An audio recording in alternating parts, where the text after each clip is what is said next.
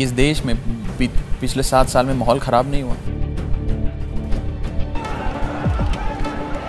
आप बताएँ। आप बताओ हुआ? ऑफ़ कोर्स हुआ। कोशिशें करी गई लोगों ने कुछ लोगों ने कोशिश करी। और मेरा ये मानना है कि बीजेपी एक गुंडों की पार्टी है अनपढ़ गुंडों की पार्टी है वो सिर्फ़ गुंडागर्दी करते हैं और पेट्रनेज देते हैं गुंडों को।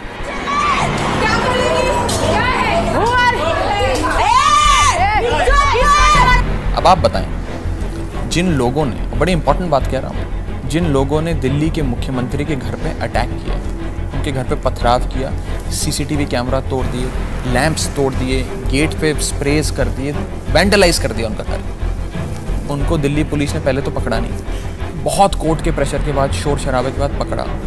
चार दिन बाद छोड़ दिया।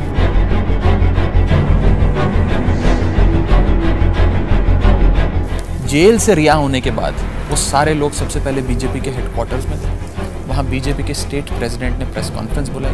उन सबको पार्टी का पटका पहना के उनको पार्टी ज्वाइन कराई।